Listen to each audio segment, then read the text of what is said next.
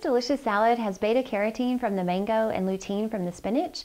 Both are important cancer-fighting antioxidants, but the lutein is also good for our healthy eyes.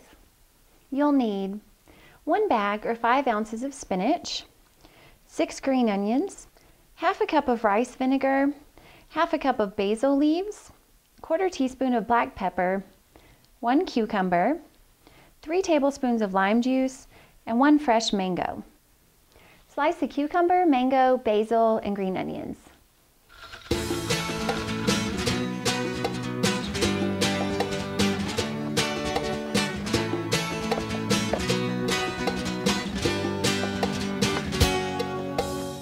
Add all the ingredients except for the spinach and pepper to a small bowl and mix well. Gently place the ingredients from the small bowl on top of the spinach and then sprinkle with black pepper.